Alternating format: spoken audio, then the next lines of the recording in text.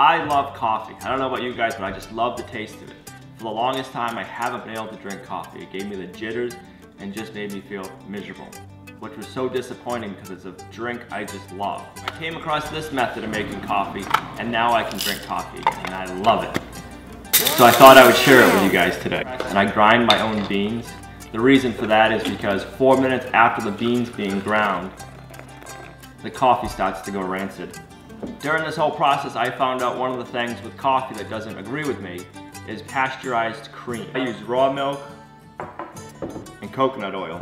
You're gonna need some sort of blender. I have the Skinny Girl blender. Put how much sugar you like in the blender. Add a heaping teaspoon of coconut oil.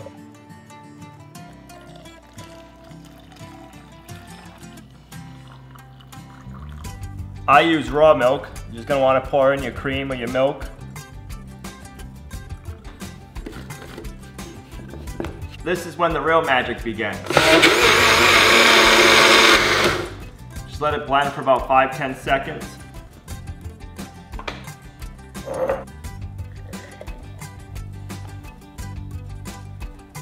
Now you have a nice latte style coffee.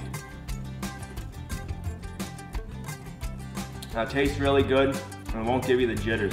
That's a good cup of coffee. I really enjoy being able to drink coffee again. I hope this video helps you. If it does, leave it down in the comments below and I'll leave a link in the video description to all the products we used today. Don't forget to subscribe, and if you like the video, share it, it really helps. And we'll see you right back here next time at Lumnah Acres, a guide to modern homesteading, self-sufficiency, and freedom from coffee jitters.